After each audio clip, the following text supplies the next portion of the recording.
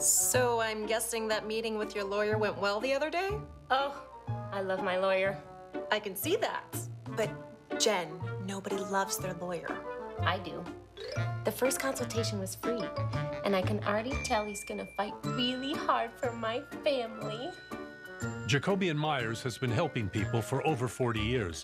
If you've been injured, we'd love to help you too. Jacoby & Meyers,